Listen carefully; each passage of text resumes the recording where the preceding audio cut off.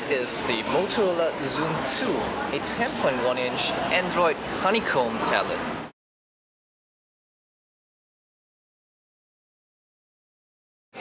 So let's start with the design of the tablet. It's your pretty standard 10.1 inch widescreen tablet, um, but there are a few things that I would like to highlight about it. So first of all, the tablet is pretty thin, so um, that's nice, and they've actually have some interesting designs at the back here. So on the two sides here, you have these black rubberized type of texture. It's not really rubber, but it gives you a soft touch type of thing that makes it more comfortable uh, to hold on the side here.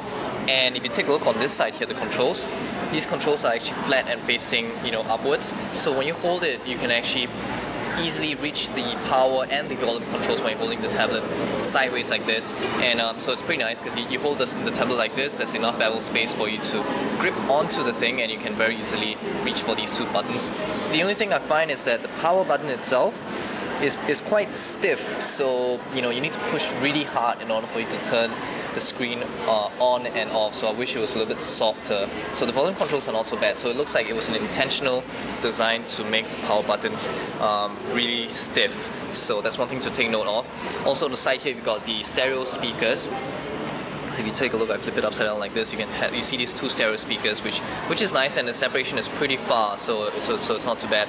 And uh, you've got the camera behind here, um, that's facing this way, with an LED flash in the middle and you've got another camera uh, on the front here as well. The display's resolution by the way is 1280 by 800 pixels. I find the screen a little bit yellow when it comes to you know taking a look at stuff so if I were to open uh, new page, you know, I think you can even see it from here. It does look a little bit yellow, so the, the screen could be a little bit bluer to make it make closer to white. So that's another thing to take note with regards to the tablet's design. There is one thing that I'm very, very fond of with this particular tablet and that is the fact that you can charge the tablet using the USB port. So this is something that surprisingly is quite rare.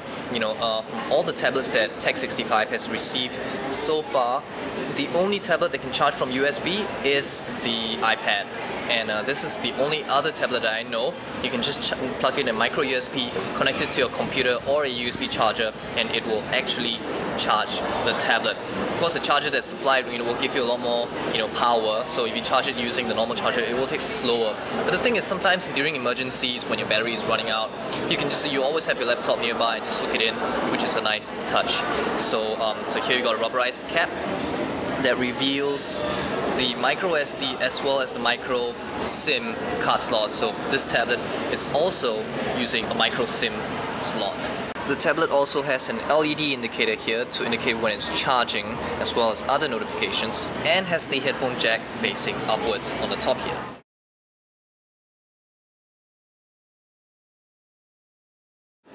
Now let's talk about the hardware on the Motorola Xoom 2.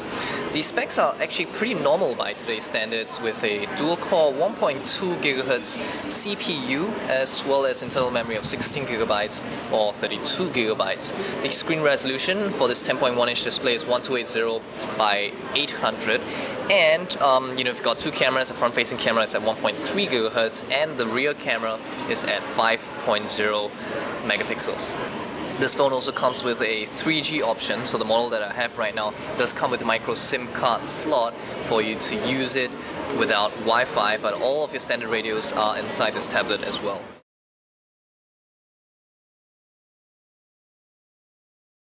Now let's talk about the software. Um, this also again nothing particularly standing out on this particular tablet. One thing that you might want to take note is that the Motorola Xoom 2 is still running on Honeycomb 3.2 and as of today there still is no upgrade yet for ice cream sandwich and we're not really sure cannot confirm whether you can upgrade this particular tablet to Android 4.0 so that's one thing already. The other thing is that the Motorola Xoom used to be a device that Google used to show off their tablet software so as a result there are hardly any customizations on the tablet itself, no custom launcher, no custom widget screens, no uh, pretty much nothing. Uh, even the notification panel is completely stock Android. The only thing that is special is this little button in the corner here which is uh, kind of faded away um, but when you click on this it will open this little particular menu that allows you to get to the sticky notes application for you to take notes so I, can do this and it will show you um, you know you can actually draw stuff, you can write text and stuff like that. The note will not stay on it, so once you're done with it, you close it, it just kind of uh, you know disappears. And if you want to see the notes, just pretty much click on the open. You can access these notes from any application, of course, which is good. So sort of a, a, little bit like what Samsung did with uh, TouchWiz for their tablets. You can add notes and you can view the notes from any other application. Unfortunately, unlike um, unlike what Samsung did with TouchWiz, the notes application is the only thing that is available on the Motorola Xoom 2. In terms of applications, um, they're, they're pretty standard, nothing particular standing out, even um, though they have DLNA support with this application called Twonky, which is a, a very interesting name uh, in the first place.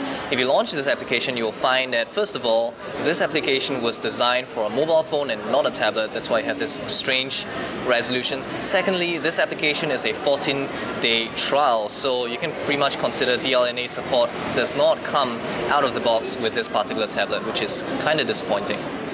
And that is the Motorola Xoom 2 and Android Honeycomb tablet. So what do you think? Is this a tablet that you will actually purchase? Is this tablet simple enough for you or is it too simple for you to purchase? Tell us more in the comments. We'd like to find out more. It's your turn to rate the product. And if you like this video, give us a thumbs up by liking the video on YouTube right here. And don't forget to subscribe to our YouTube channel at youtube.com slash 65bits if you'd like to receive more of videos like this. And be sure to check out our website, www.tech65.org for more awesome tech content. I'm Daniel and I'll see you guys soon. Bye!